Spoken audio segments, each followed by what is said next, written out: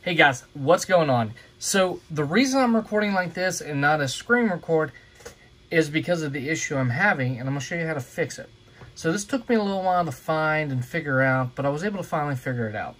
So everyone knows that if you hit the Windows key and G, you get the game recorder. So this is the Xbox game recorder for when you're gaming. You can go ahead and record footage and all that good stuff.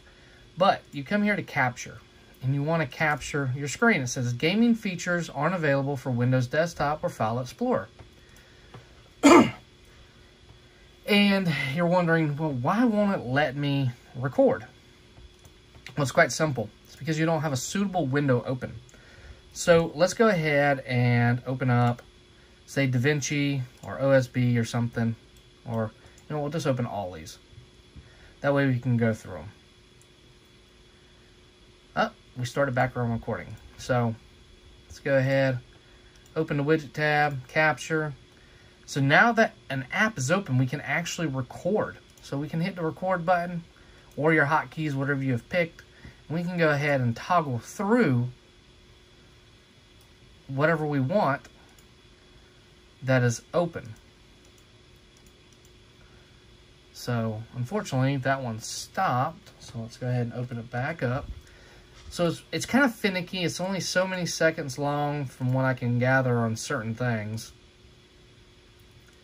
And like this window isn't working. Recording isn't working. So let's go ahead and just open up Google Chrome. We'll hit the record button and now we can record. And we're recording fine.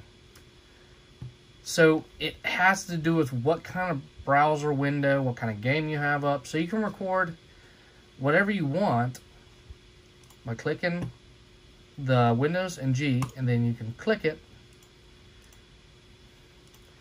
You can start your recording, and I can show all captures. So here we go. And that is how to get it to start recording.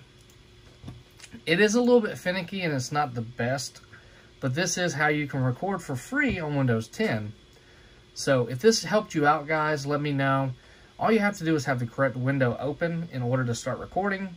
And it works a lot better with games, but as you can see, Google Chrome, Firefox, stuff like that will work.